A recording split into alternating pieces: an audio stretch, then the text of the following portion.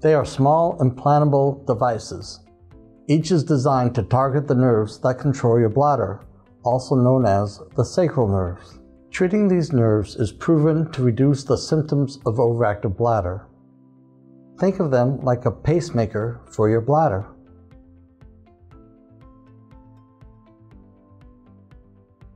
When it comes to bladder control therapy, the InterStim systems are the most proven. Doctors have been using them to treat patients for 25 years. Also called sacral neuromodulation or SNM. This therapy may help you experience fewer trips to the bathroom, fewer accidents, and more confidence living with overactive bladder. If you have non-obstructive urinary retention, benefits may also include needing to catheterize less frequently and the ability to more fully empty your bladder.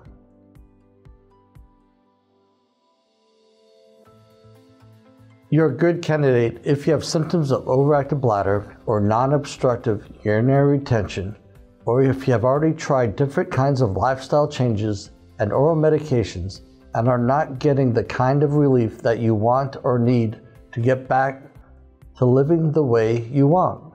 To find out if this therapy will work for you, the first step is typically an evaluation.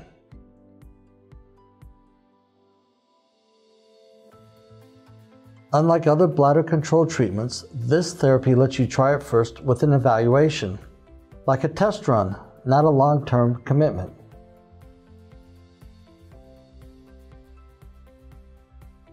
Unlike conventional treatments, the Medtronic InterStim system gently stimulates the sacral nerves in your pelvic area that control your bladder. This may help restore bladder-brain communication and reduce your symptoms.